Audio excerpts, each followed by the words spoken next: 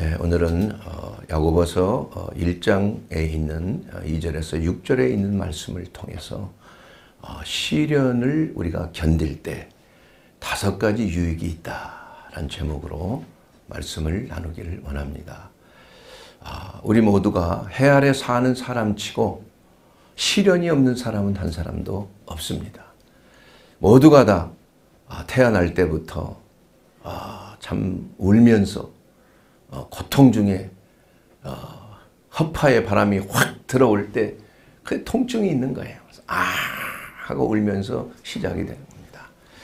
그래서 인생 여정을 통해서 우리가 어, 양육되고 자라나고 학교에 가고 또 성인이 돼서 또 시집 가고 장가 가고 또 사업하고 직장 생활하고 여러 가지 이러한 과정을 통해서 많은 사람들과 부딪히기도 하고 또 그로 말미암아 또 여러 가지 그 문제들 또 육신은 날이 갈수록 쇠하여집니다. 그러므로 그 육신의 그 쇠하여지는 과정 속에서 질병이라는 것을 우리가 피할 수가 없는 것입니다. 그래서 이러한 질병의 문제, 또 학업의 문제, 직장의 문제, 대인 관계의 문제, 또 가정 생활의 문제, 자녀들의 문제, 이 문제가 투성이죠. 이 문제들을 우리는 안고 어떻게 하면은 이 문제를 잘 해결하고 살 것인가. 아, 그런 와중에서 우리는 여러 가지 시험을 만날 수가 있습니다. 그래서 사람이 이 시험을 만나게 되면은 두 가지 타입이 있죠. 어, 시험을 받을 때 우리가 하나님을 원망하고 내 자신을 또한 원망하고 부족함을 철저하게 깨닫고 낙심하고 좌절하고 있는 사람이 있는가 하면은 그러나 그 시험을 통해서 우리는 오히려 연단되는 과정으로 생각을 하고 그 시험이 나에게 시련을 가져다 주고 그 시련이 우리에게는 놀라운 유익을 가져다 준다는 하나님의 말씀이 내 삶 속에 이루어지는 것. 예. 그래서 오늘 우리가 시련을 당할 때 그 시련이 내게 어떤 약이 되는 것인가. 예. 이것을 우리가 잘 깨닫고 우리의 삶 속에 믿음으로 하나님의 말씀을 적용하게 되면은 우리는 누구나 그 시련을 통해서 엄청난 하나님의 은혜와 사랑을 경험할 뿐만이 아니라 그야말로 하나님이 예비하신 풍성한 생명과 번영을 누릴 수 있는 그 그러한 삶이 된다. 이렇게 오늘 야고보서 1장 2절 이하의 말씀을 하고 있습니다. 아, 그러기 때문에 형제들아 너희가 여러 가지 시험을 당하거든 온전히 기쁘게 여기라. 시험을 당하는데 왜 기쁠까요? 시험을 당하는데 화가 나지 않습니까? 시험을 당하는데 좀 좌절하고 낙심되지 않습니까? 잘 되지 않잖아요. 고통스럽잖아요. 모욕적이고 분노가 일어나는 거 아닙니까? 여러분도 아마 한 주간 동안 살면서도 이러한 과정들을 여러 차례 겪었을 것입니다. 저도 겪었어요. 말할 수 없는 이러한 배신감과 분노가 있을 때가 있어요. 음? 그것도 그렇게 애매히 고난을 받는 문제로 인하 내가 잘못한 게 없는데 애매하게 핍박을 받고 어, 뒤통수를 맞고 여러 가지 참 어, 모욕을 당하는 그러한 일들이 흔히 있을 수가 있는 것입니다. 그럴 때 우리는 어떻게 이 시련의 문제를 우리가 해결해야 되는가? 그 시련이 내게 유익이 되기 위해서는 저절로 되는 것이 아니라는 거예요. 그 시련을 잘 견딜 때입니다. 견딜 때. 여러분 시험이라는 것은 페이라조라고 하는 그러한 단어에서 어, 나왔는데 바로 재난과 재해를 당하는 것을 말해요. 예. 갑작스럽게 사고가 나는 거예요. 갑작스럽게 이상한 사람이 나타나서 나에게 손해를 끼치는 거예요. 음? 예기치 않는 사고예요. 이게 시험을 당하는 거 아니에요. 누가 시험을 당할 줄 알고 당하는 사람이 누가 있겠냐 이거예요. 그러나 그 시험이 시련으로 연단이 될 때, 이 시련이란 말은 아, 도끼매원이라고 하는데 이것은 정제하다, 연단하다 이런 말이에요. 그러니까 손금이 금이 금을 만들기 위해서는 이 정제를 하잖아요. 불로 연단을 하잖아요. 그래야 순금이 나오는 거 아니에요? 여러분 이 알루미늄이라고 하는 어? 그러한 그 어, 가볍고 참 편한 물질을 얻기 위해서 광물을 얻기 위해서 어떻게 합니까? 수만 볼트의 보크사이트라고 하는 그 광석에 순간적인 수만 볼트의 전압을 흘려 들어보낸다. 100볼트, 200볼트, 1000볼트 가지고는 역사가 일어나. 그 망가져 버려요, 광물이. 그러나 순간적인 강력한 이러한 전류가 흐르게 할 때 이게 알루미늄으로 정제가 된다니까. 그렇지 않으면 망가져 버리는 거예요. 이것은 뭘 말하느냐? 바로 하나님께서 보크사이트와 같은 금광석과 같은 우리들을 정죄하신다는 얘기예요. 뭐를 통해서? 포임해온 시험을 통해서 갑작스럽게 나타나는 여러 가지 재해와 재난을 통해서 하나님의 손길이 우리를 연단하실 때에 정금 같은 믿음으로 나오는 거예요. 참으로 유용한 알루미늄으로 정제되어 나오는 것입니다. 그러므로 우리가 이러한 시험이 없이는 우리 인생에서 나타나는 여러 가지 사건, 사고 이런 걸로 인해서 애통해하고 슬퍼하고 고통당하고 어, 부르짖음이 없이는 우리가 그리스도인으로서 예수님을 닮는 그리스도인으로서 정제될 수가 없다는 겁니다, 여러분. 그래서 불을 통과해야 되는 거예요. 시험을 통과해야 되는 거예요. 그 시험을 통과할 때 새카맣게 타버리는 사람이 있는가 하면 아주 멋지게 지난번에 한번 그 옥수수 튀김 음? 가끔 우리 집 앞에 어? 그 할아버지가 와서 이 옥수수 이렇게 돌리잖아요. 불을 넣, 넣고. 그래 뻥이요 하면 귀를 콱펑 터지면 큰 자루에 그냥 가득 먹음직스러운 옥수수가 있어. 그거 그냥 엄마한테 사달라고 저런 적이 여러 번 있다 이거야. 예. 그런데 그 옥수수가 얼마나 맛있어요. 가끔 그런데 몇 개씩 말이야 새카맣게 타버렸어. 응? 똑같은 불로 어? 옥수수가 이렇게 달구어졌는데 어떤 옥수수는 맛있게 튀겨지고 어떤 옥수수는 새까맣게 타버려요. 먹을 수가 없어요. 예, 이렇게 되면 안 된다는 것입니다. 여러분.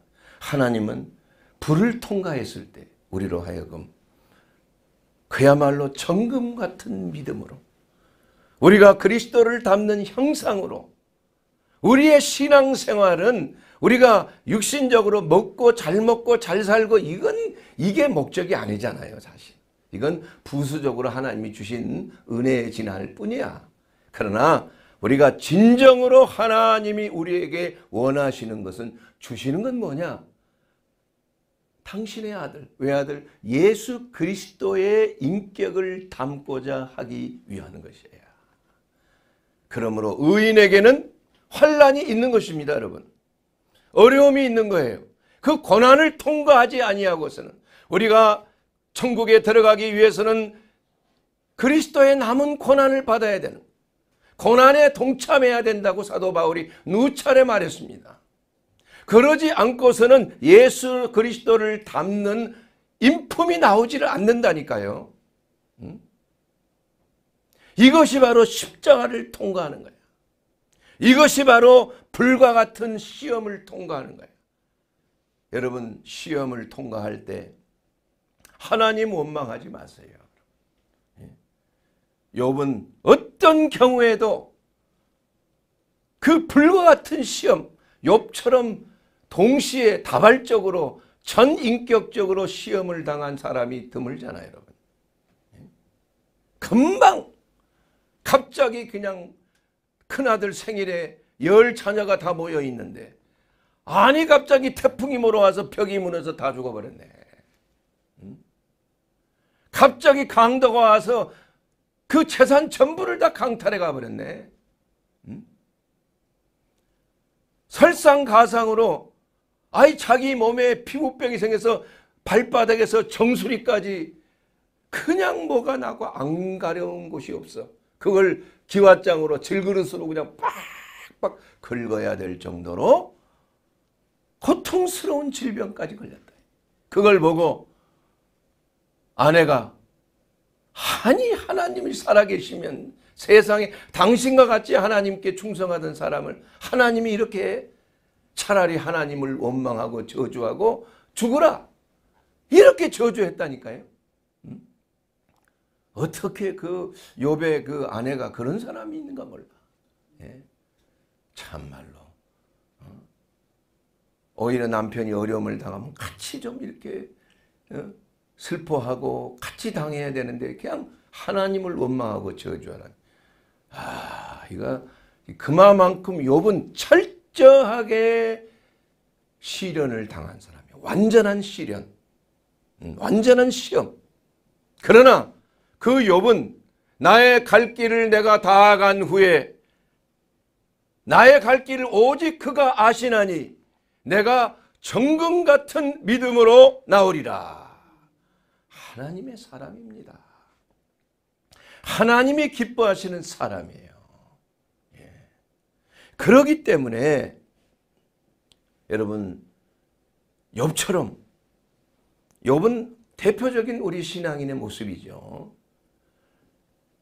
시험을 만날 때 오히려 기쁘게 여기라는 그 말이 거기서 나온 것입니다.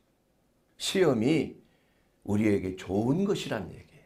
유익한 것이란 얘기입니다. 당장은 아플지는 모르지만 당장은 내가 정말 뼈를 깎는 고통이 있을지 모르지만 그것으로 인해서 스트레스를 받고 여러 가지 질병으로 고통당하는 거 아니에요?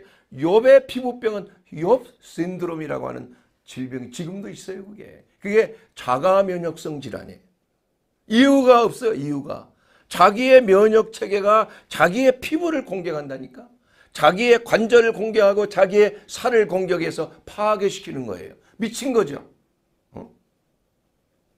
자기의 갑상선을 공격해 자가 면역성 하시모토 어? 병과 같은 것. 이거 다 갑상선 질환. 또 뭐 자가 면역성 간 질환, 간이 파괴되고 자가 면역성 이러한 대장 질환, 뭐 궤양성 크론시병이라든지 여러 가지 소화기 질환들 다 이게 이유가 없는 자기 스스로를 파괴하는 것. 이게 바로 스트레스를 통해서 인생의 역경과 고난, 배신감. 왜 내가 이러한 걸 당해야 되는가? 이런 거에 분노하고 좌절하게 되면 이게 면역 체계가 미쳐 돌아간다니까요. 그래가지고 미쳐가지고 자기 살을 막 공격하는 거예요. 어? 아군을 그냥 무차별 총 난사하는 거야 이게.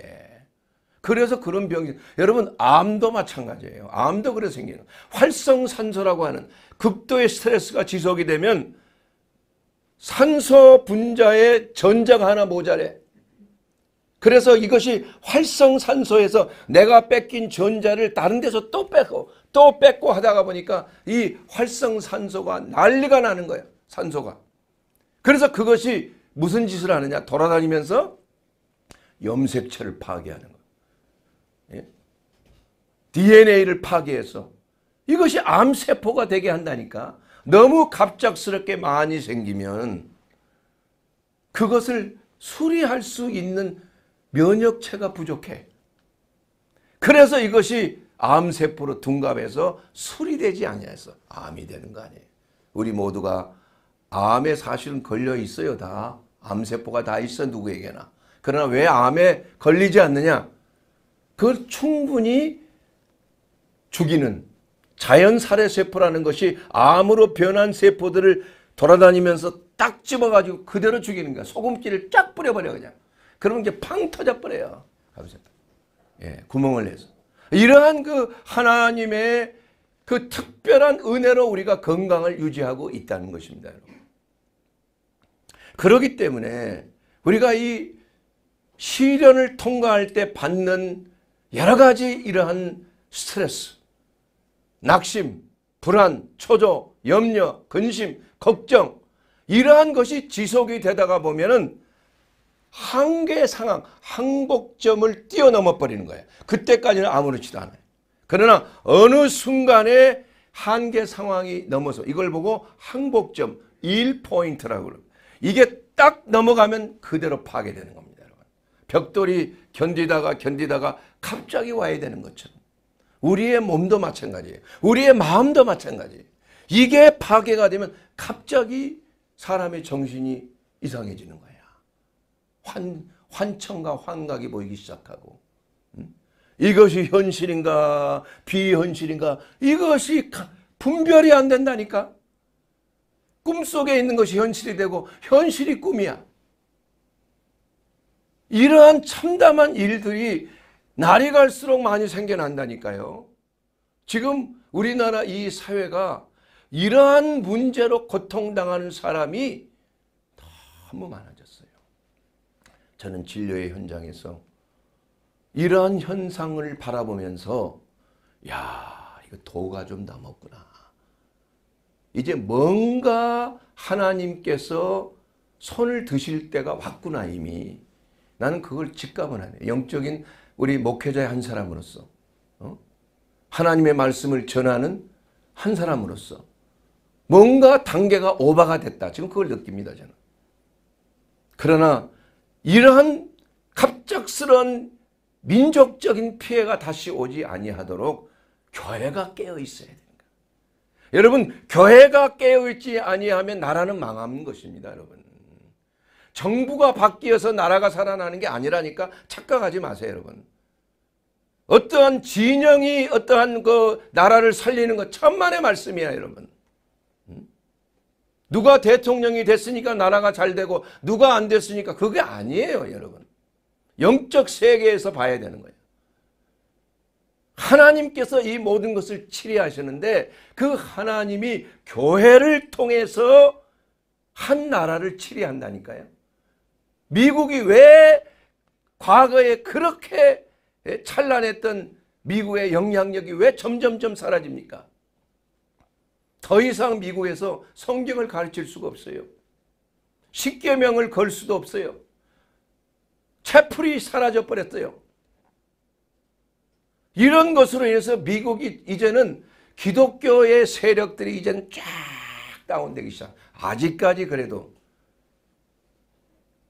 복음에 투철한 사람, 말씀에 투철한 목회자와 신앙인들이 남아있기 때문에 미국이 아직 존재하는. 우리나라도 마찬가지예요. 예. 사랑하는 여러분, 그래서 민족의 복음화, 교회가 바로 서고 교회가 하나님의 말씀으로 성령의 바람이 불어야 이 나라가 다시 회복이 된다니까요. 그것을 알는지 모르는지 성령께서 하시는 말씀이에요, 이게. 그러므로 사랑하는 여러분, 우리가 어떤 경우에서도 낙심하거나 좌절하는 사람이 돼서는 안 된다 이거야.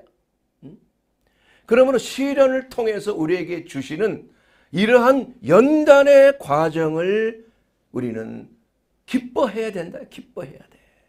욥이 기뻐하듯이 사도 바울이 베드로가 기뻐하듯이 그들이 어디가 있었어요? 로마의 토굴 감옥 속에서 착고에 채워져 있을 때 그들은 어떻게 했습니까? 통성으로 기도하며 찬송을 올렸다 그래서 밤중에 그때 어떤 일이 일어났습니까? 갑자기 지진이 나고 착고가 착 풀어지고 문이 열려져 버리고 완전히 해방이 돼 버렸어. 그래서 그걸 보고 아이고 우리는 죽었구나. 이 죄수가 이제는 다 문이 열렸으니 다 도망갔으니 자결을 하려고 칼을 뽑아서 찌르려고 할 때 아니야 우리가 여기 있다 말이야. 아직 손대지 마라. 해하지 마라. 우리가 아직 그대로 있다. 그러자 그 간수가 바울 앞에서 무릎을 꿇고 뭐라 그랬습니까? 우리가 어떻게 해야 구원을 얻을 수 있습니까? 그때 유명한 말이 나오잖아요. 말씀이. 뭐예요? 주 예수를 믿으라. 그리하면 너와 내 집이 구원을 얻으리라.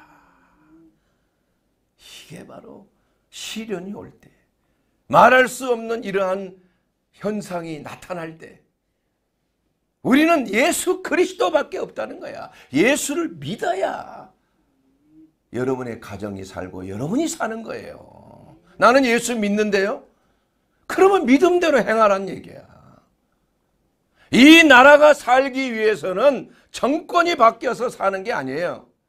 예?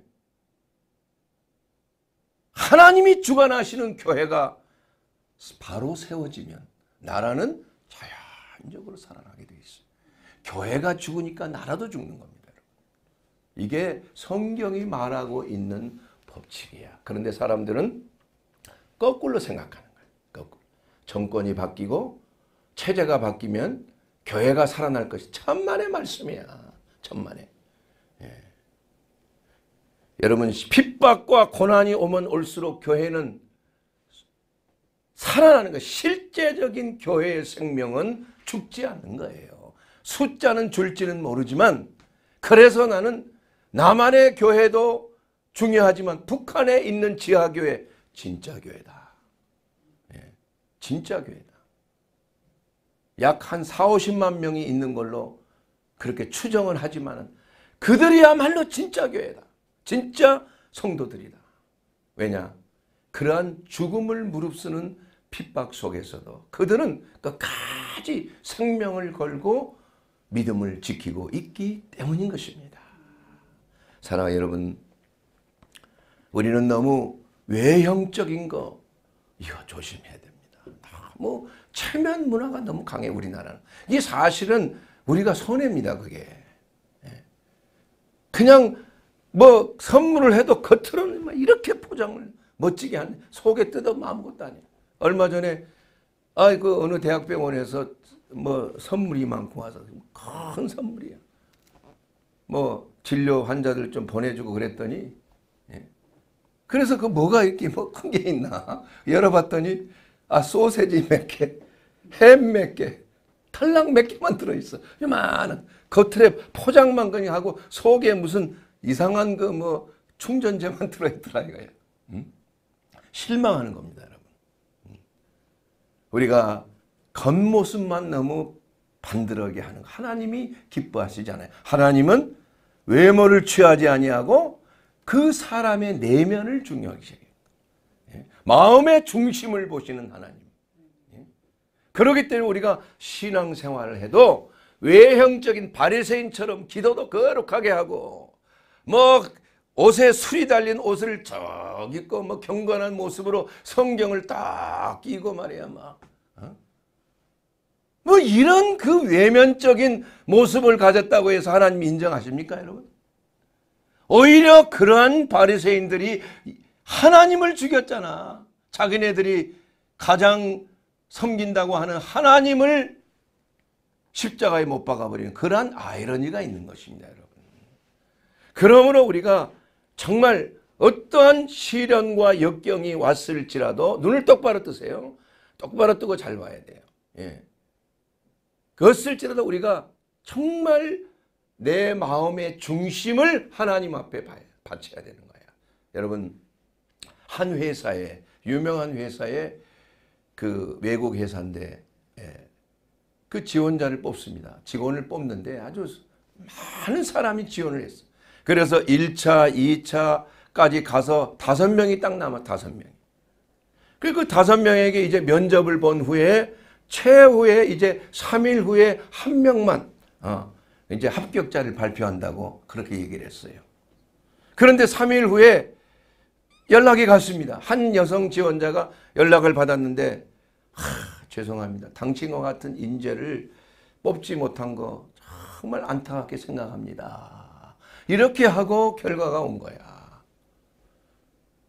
그랬는데 그 여성 지원자는 그 결과를 보고 자신의 부족함을 알고 오히려 아, 이런 계기를 통해서 내 자신을 알고 더 열심히 노력할 수 있 도록 해 주신 것에 대해 감사합니다. 이렇게 감사의 편지를 보냈어요. 그런 후에 3일 만에 당신은 합격됐습니다. 하고 통보가 온 거예요. 근데 사실 그 편지가 시험 문제예요. 시험 문제. 음?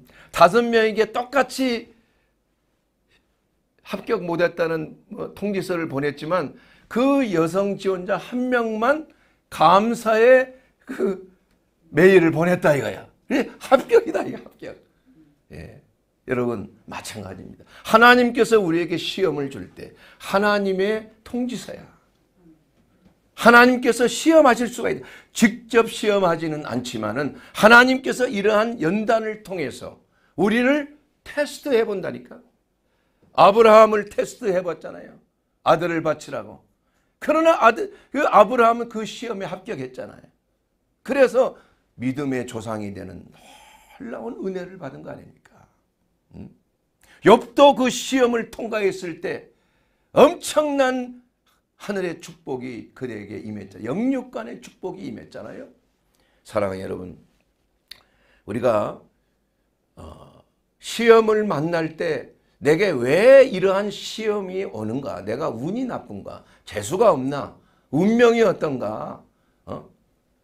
이렇게 생각할 것이 아니라 오히려 그러한 계기가 내 삶 속에 하나님이 주시는 엄청난 축복의 과정이라는 사실을 꼭 깨달아 알게 되기를 주의 이름으로 축원합니다.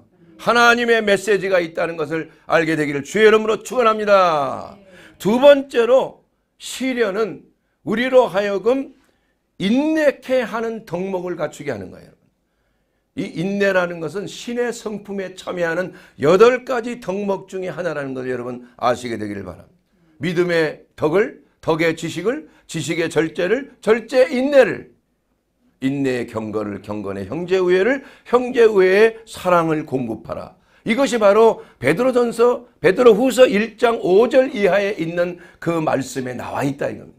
그래서 우리가 이러한 시련을 통해서 인내라고 하는 그러한 덕목을 갖추게 하는 하나님의 성품에 참여하는 그러한 놀라운 은혜를 우리에게 주시는 줄로 믿습니다.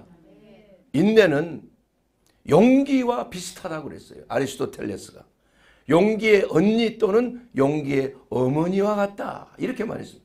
그래서 인내라는 것은 용기보다도 한 수 위라 이거예요. 촌수로 말하면 하나 위란 얘기. 아니면 두 단계 위란 얘기예요. 예? 그래서 이 자문서 16장 32절 말씀을 보게 되면 노하기를 더디하는 자는 용사보다 낫고 자기의 마음을 다스리는 자는 성을 빼앗는 보다 나으리라. 이렇게 말씀하고 있 습니다. 여러분 어, 복음이 만들어질 때 그 복음이 이 날카롭고 잘 부러지지 아니하는 복음이 되기 위해서 어떤 과정을 거칩니까? 어? 그 불의 연단이 그 쇠를 갖다가 집어넣었다가 벌겋게 달구어지면 그걸 빼서 그걸 칼 모양으로 연단을 하잖아요. 그리고 나서 다시 찬물에다 쭉 집어넣잖아요. 그리고 또 다시 불에 연단하고 그 다음에 망치로 때리고 찬물에 들어가고 이러한 과정을 여러 차례 걸치게 되면은 그야말로 웬만한 것에 부러지지 아니하는 칼이 된다 이게 칼이. 그러한 프로그램을 제가 많이 본 적이 있어요. 뭐 TV에 히스토리 채널에 보니까 그 보검을 만들고 면장을 만들고 무기를 만드는 이러한 그 대회가 있더라고. 그 대회 속에서 가장 중요하게 여기는 것이 뭐냐면은 칼이 잘 부러지나 벴을 때 칼날이 그대로 서 있나 이것을 중요하게 여기시는 거예요. 모양보다는. 이와 같이 우리가 이러한 시련을 통해서 연단을 거치게 되고 그 연단을 통해서 복음과 같은 그러한 정말 정제되고 그야말로 부러지지 아니하는 날카로운 칼이 만들어지는 줄로 믿습니다. 시편 105편 19절 말씀에 보면 곧 여호와의 말씀이 응할 때까지 그 말씀이 저를 단련하였도다. 하나님의 말씀이 이루어지기까지 시련의 과정이 필요하다니까요. 그래서 말씀이 저를 단련하는 과정이 바로 시련의 과정이요, 연단의 과정이요. 시험을 통과할 때 나타나는 그러한 연단의 과정인 줄로 믿습니다. 여러분, 우리 인생 여정 속에 여러분이 당하고 있는 여러 가지 어려움이 있을 수가 있습니다. 예. 그런데 우리가 주 안에서 그러한 연단의 과정을 잘 통과하게 되면은 우리는 그야말로 정문 같은 믿음으로 나올 수 있는 그러한 좋은 기회가 되는 거예요. 첫째는 시련을 만나면 어떻게 하라고 그랬어요? 기쁘게 여기라고 그랬어. 주 안에서 항상 기뻐해야 돼요. 두 번째는 뭐예요? 시험을 만나고 시련을 당할 때 우리는 어떻게 해야 돼요? 인내를 배우게 된다 이게. 예.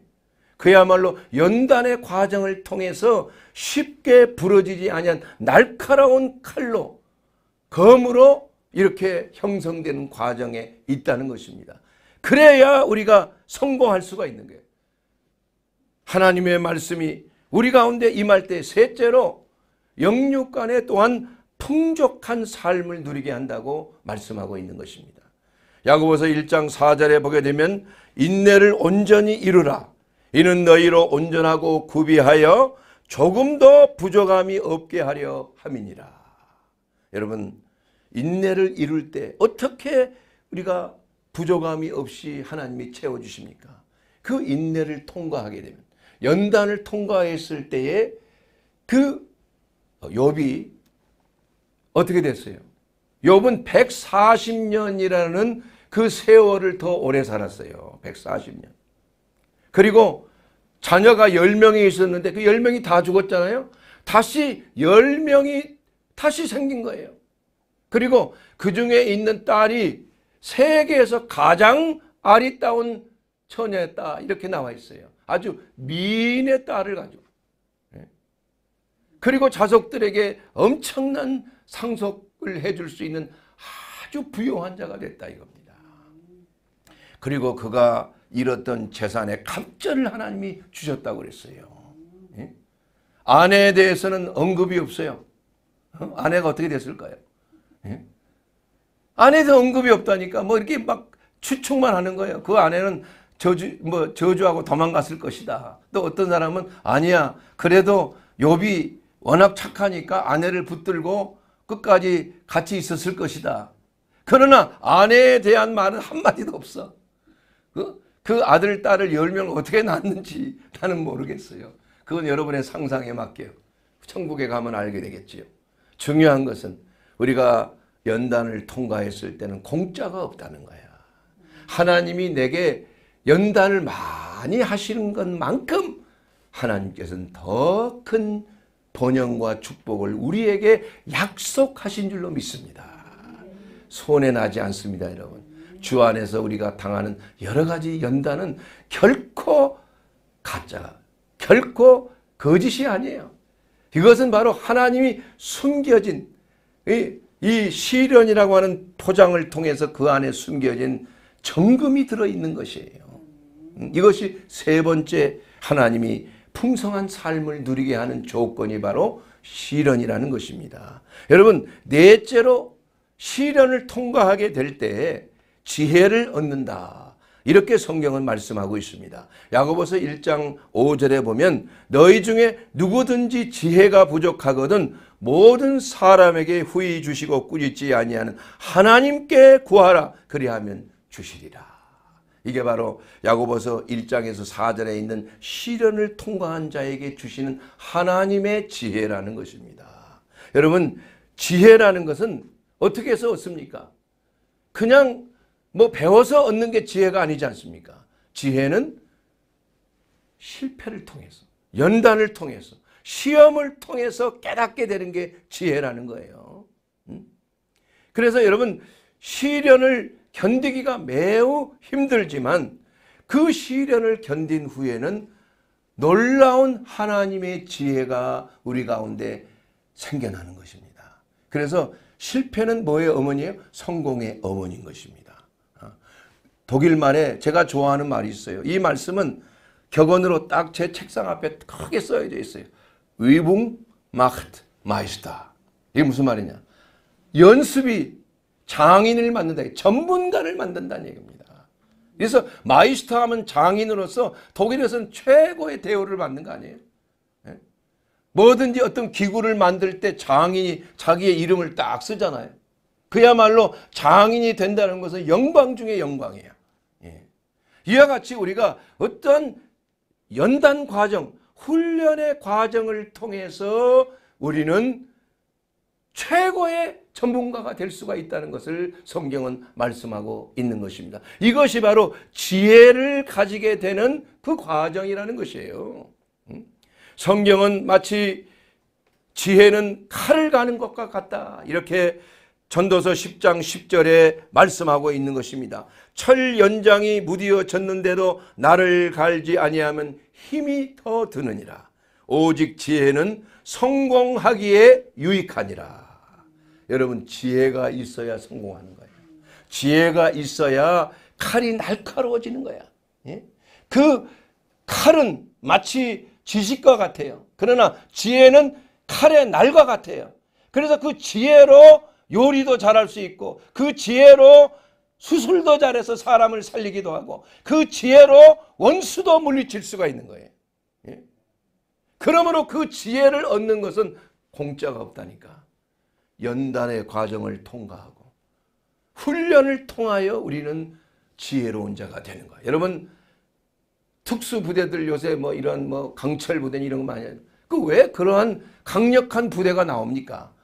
엄청난 훈련이 있잖아요. 생명을 거는 훈련이 있잖아요. 그 훈련 과정을 통해서 연단된 것이 바로 지혜라는 거예요. 지혜. 예. 그래서 어떻게 싸울 줄을 안다니까 지혜로운 자는 예?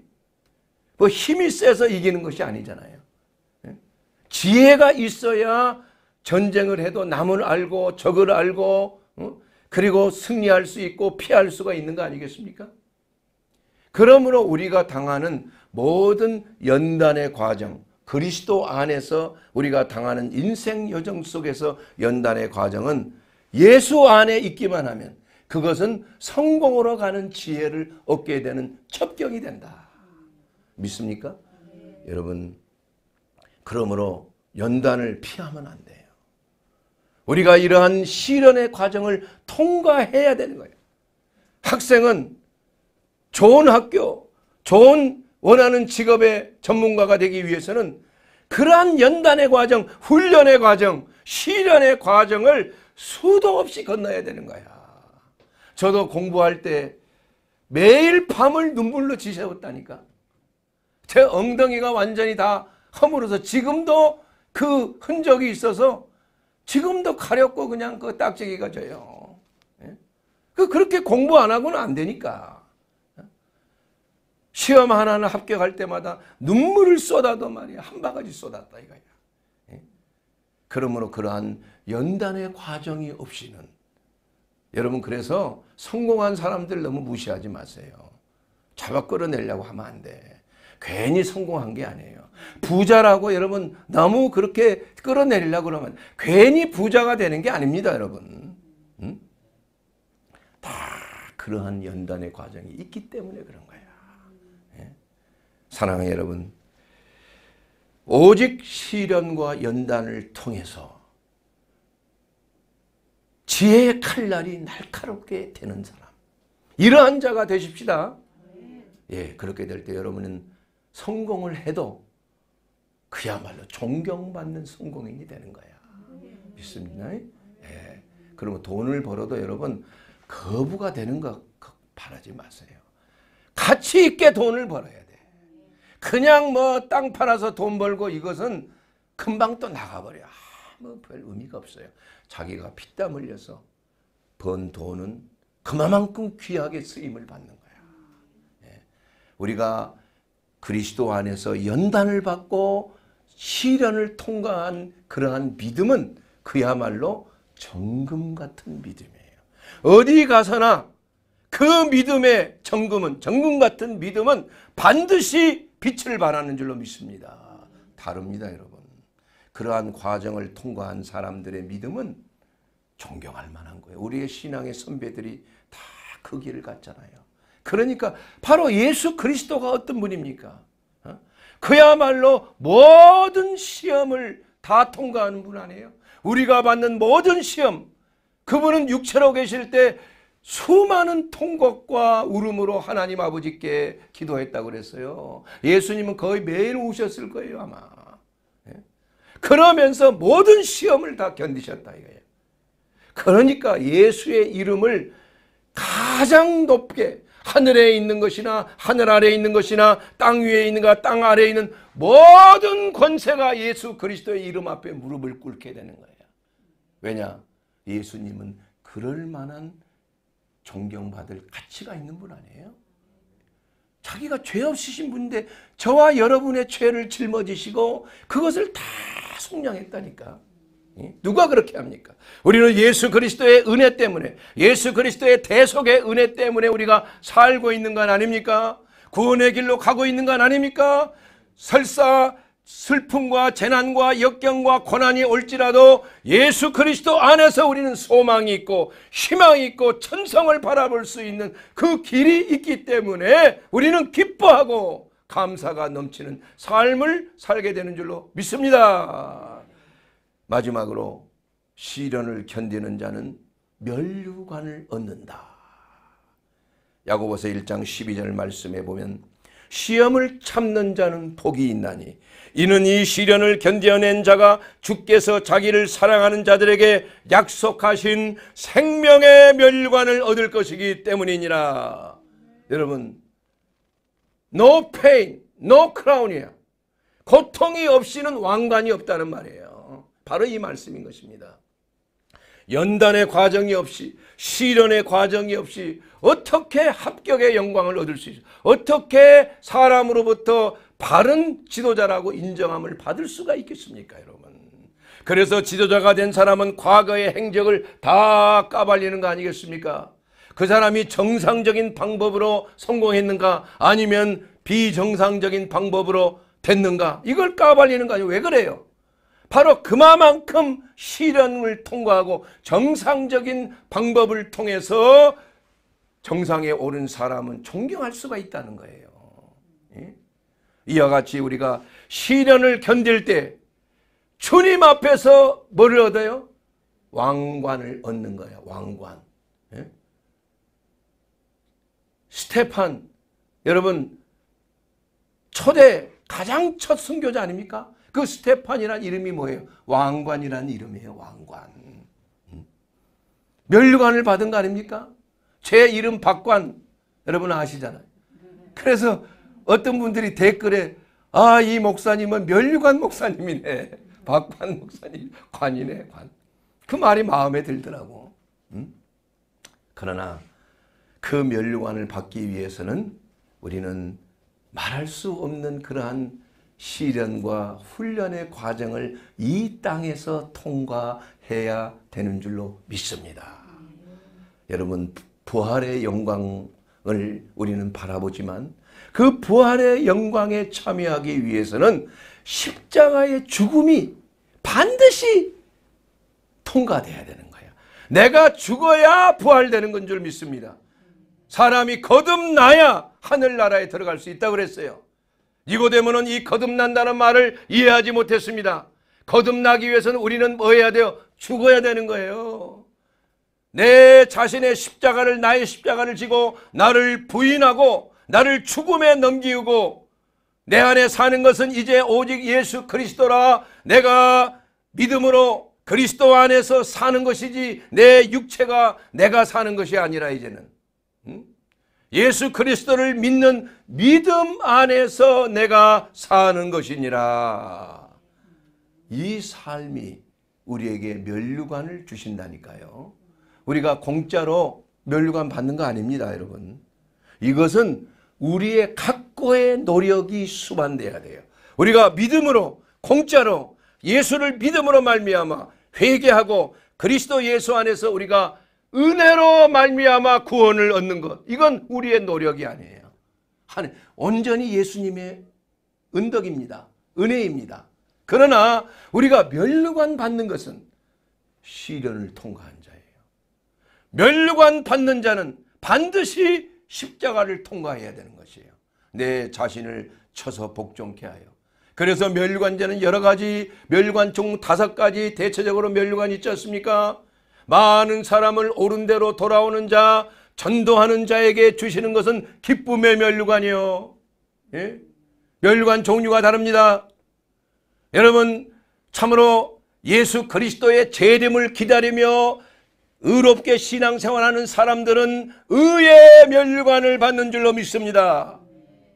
여러분 그리스도 안에서 정말 양무리의 본이 되고 양의 양무리를 잘 인도하는 목자.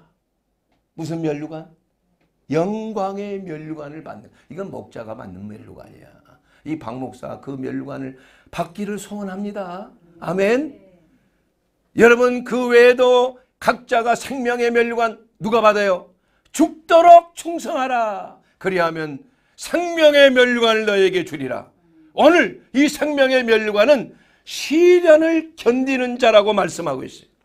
이는 시련을 견디어낸 자가 주께서 자기를 사랑하는 자에게 약속하신 생명의 멸류관을 얻을 것이기 때문이니라. 여러분, 시련을 통과한 자, 바로 십자가를 통과한 자, 내 자신을 쳐서 복종케 한 자, 절제하는 자에게 주시는 멸류관이 또 있다 이겁니다. 그 멸류관은 바로 어떤 멸류관입니까? 썩지 아니할 멸류관이에요.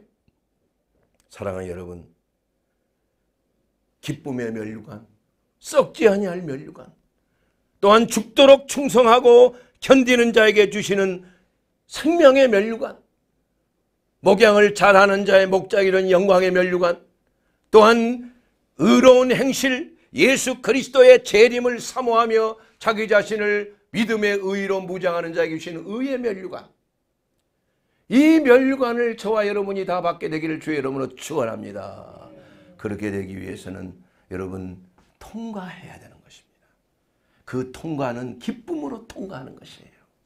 그리고 그 시련을 통과할 때 우리에게는 모든 쓸 것을 다 채워주시는 그리스도 예수 안에서 영광 가운데 풍성하게 채워주시는 하나님의 보살핌이 있는 줄로 믿습니다. 그러한 과정을 통해서 우리는 지혜를 얻게 되어 성공할 수 있는 지혜를 얻게 됩니다. 신앙생활을 잘할 수 있는 지혜를 얻게 되는 거예요. 그리고 그 시련을 끝까지 견디는 자에게 주시는 생명의 멸관이 우리에게 약속되어 있는 줄로 믿습니다. 그러기 위해서 우리는 어떻게 해야 됩니까, 여러분? 나를 위하여 십자가를 지시고 물과 피를 쏟으셔서 나와 여러분의 죄 때문에 그야말로 몸과 마음을 찢기시고 피를 흘리신 주 예수 그리스도를 나의 하나님, 나의 구주, 나의 왕으로 영접하여 영접하는 자 그 이름을 믿는 자들에게는 하나님의 자녀가 되는 권세를 주셨고 주 예수를 믿는 자는 너와 내 집이 구원을 얻으리라 말씀하셨습니다. 사랑하는 여러분, 시련을 통과하기를 원하십니까? 예수 안에서 통과해야 되는 것입니다. 예수를 믿음으로 통과해야 되는 것입니다. 예수 그리스도께서 바로 시련의 길로 우리를 인도해 주시는 길이에요. 그것은 바로 영광으로 나아가는 길입니다. 그 길은 바로 성공의 지혜를 얻는 길입니다. 그 길은 바로 모든 피로를 채워주시는 하나님께서 부족함이 없이 채우시는 은혜로 나아가는 길이에요. 그 길은 바로 생명의 멸류관을 받을 수 있는 길이 되는 것입니다. 오직 외길 주 예수 내가 길이요 진리요 생명이니 나로 말미암지 않고는 아버지께로 갈 자가 없느니라. 주 예수님 오늘 또 사랑하는 자들에게 오늘 또이 생명의 말씀 의로 인도되는 하나님의 영광 가운데 천국으로 들어갈 수 있는 이 말씀 시련을 통과한 자에게 주시는 다섯 가지 유익이에요. 여러분, 여러분의 삶의 여정을 점검하시게 되기 바랍니다. 지금 여러분 지금 십자가의 길로 가고 있습니까? 주님이 가시는 그 시련의 길, 연단의 길로 들어가고 있습니까? 좁은 길로 가고 있습니까?